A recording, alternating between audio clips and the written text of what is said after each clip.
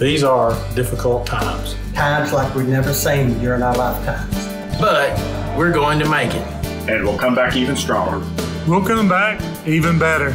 Because you're doing your part. To keep yourself healthy. And your neighbors safe. By eliminating non essential travel. By practicing social distancing. And by practicing safe hygiene. Thanks for doing your part. We are all in this together.